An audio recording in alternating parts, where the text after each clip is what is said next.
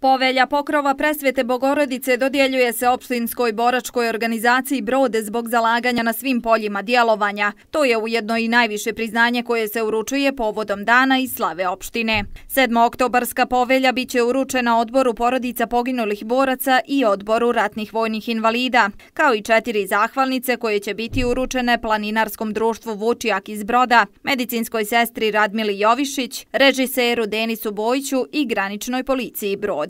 Pošto je 30 godina plovidbe u slobodi i miru u našoj opštini, mi smo se odlučili da ove godine, da kažem, ne damo, to je ružna riječ, ali da izaberemo, da izaberemo, da odlučimo da najviše priznanje damo krovnoj organizacije koja njeguje E, borce, odnosno tekovine od brambeno rata, a to je boračka organizacija. Usvojena su i rješenja o razrešenju i imenovanju članova Upravnog odbora javne zdravstvene ustanove Dom zdravlja Brod zbog isteka mandata, a problem je nastao kada je odbornik socijalističke partije Miloš Stanišić uvidio neregularnost jer je za isto glasao i odbornik Igor Jeremić, koji je ujedno i direktor Doma zdravlja. Stanišić je zahtjevao pojedinačno izjašnjavanje koje mu nije odobreno. Kaže, desilo se pravno nasilje. Jedno svojevrsno pravno nasilje koje sam doživio da u određenom trenutku na određenoj tački dnevnog reda nije dozvoljen institut pojedinačnog izjašnjavanja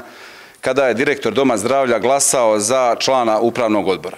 To u civilizovanom, pravnom, u kako moćete, normalnom svijetu nije moguće. Ja sam digao obje ruke, samo se jedna važi ispred socijalističke partije jedna, i drugu je uh, digao moj kolega Slobodan Pečić.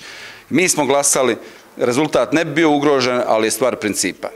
Nažalost, nije ovo prvi put i sada imamo jednu otežanu komunikaciju i međusobnu, pa onda imamo žalbu prema recimo, Ministarstvu lokalne uprave i samuprave, ali ne služi nam to na čast, e, pogotovo trebalo biti još tolerantni. Predsjednik Skupštine opštine situaciju pravda na ovaj način. E, pojedinačno izjašnjavanje je moguće samo u onom slučaju kada postoji sumnja u rezultat glasanja. Tako da ja dozvoljavam kolegi da ima svoje mišljenje i da iskaže javno svoje mišljenje.